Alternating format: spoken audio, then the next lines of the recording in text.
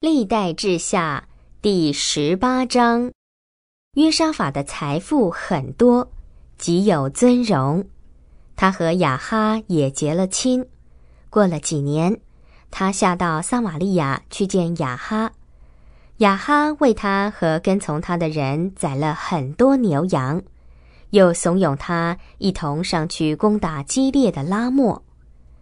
以色列王雅哈问犹大王约沙法。你愿意和我一同到激烈的拉莫去吗？他回答：“你我不分彼此，我的人民就是你的人民，我必和你一同作战。”约沙法对以色列王说：“请你先求问耶和华的话。”于是以色列王召集了四百位先知，问他们。我们可以到激烈的拉莫去作战吗？还是不要去呢？他们回答：“你可以上去，神必把那城交在王的手里。”约沙法问：“这里不是还有一位耶和华的先知吗？我们也可以向他求问。”以色列王回答约沙法说。还有一个人，我们可以向他求问耶和华。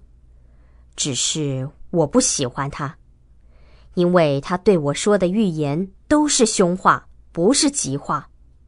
这人就是因拉的儿子米该亚。约沙法说：“王不要这样说。”于是以色列王召了一个太监来说。快去把因拉的儿子米该亚召来。那时，以色列王和犹大王约沙法各自坐在王位上，穿着朝服，坐在撒玛利亚城门口的广场上。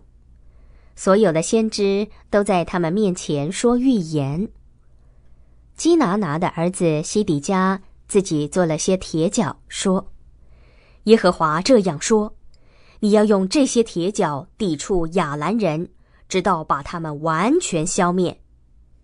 所有的先知也都这样预言说：“你可以上激烈的拉莫去，必得胜利，因为耶和华必把那城交在王的手里。”那去招米该亚的使者对米该亚说：“看哪，这里的众先知都异口同声的对王说吉话。”请你与他们一样说吉话。米盖亚说：“我指着永活的耶和华起誓，我的神说什么，我就说什么。”米盖亚来到王那里，王问他：“米盖亚啊，我们可以到激烈的拉莫作战吗？还是不要去呢？”他回答：“可以上去，一定得胜。”他们必交在你们手里。王对他说：“我要嘱咐你多少次，你才会奉耶和华的名对我只说真话呢？”米该亚说：“我看见以色列人四散在山上，好像没有牧人的羊群一样。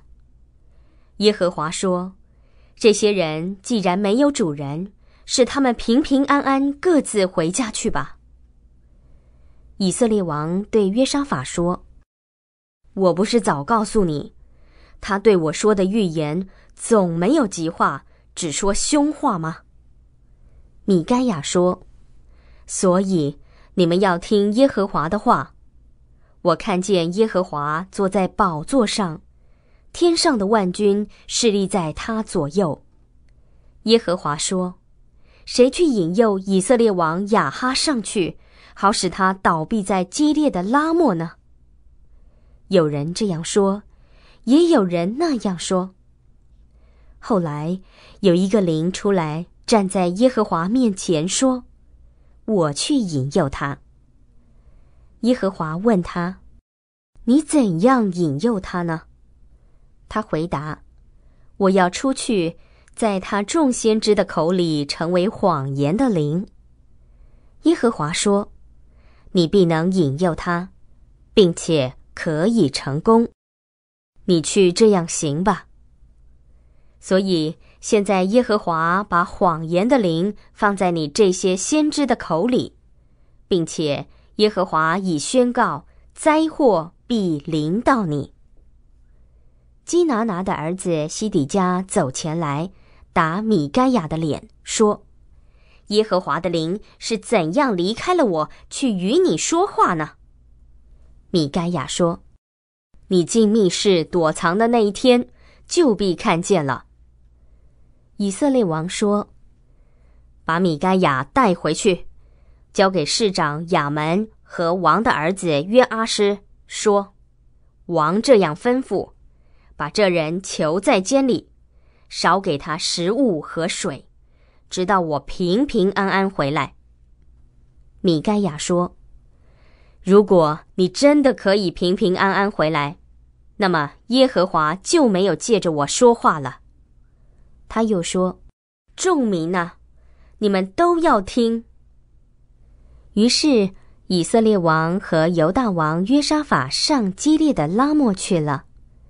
以色列王对约沙法说：“我要改装上阵，你可以仍穿朝服。”于是以色列王改了装，他们就上阵去了。